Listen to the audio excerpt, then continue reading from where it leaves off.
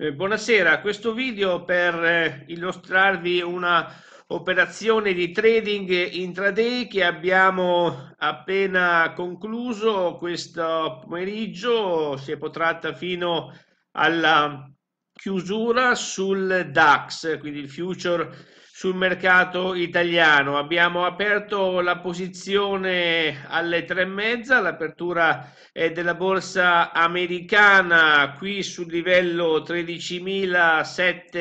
13.778 come al solito alla rottura rialzista dell'indicatore super trend dopodiché il mercato effettivamente è salito, è salito con molta forza, è salito eh, con molta costanza, si è sempre mantenuto al di sopra sia dell'indicatore super trend che del parabolic SAR, quasi sempre, sia della media mobile a 25, non l'ha mai lambito, ovviamente è salito anche il super trend che ci faceva da trailing stop, eh, questo è durato diverse ore, ma non ci sono mai stati dei grossi segnali di inversione, ci sono stati solo dei piccoli ritracciamenti sempre e subito e velocemente riassorbiti fino quasi alla chiusura. Qui su questa ultima barra verso le ore 10, questa candela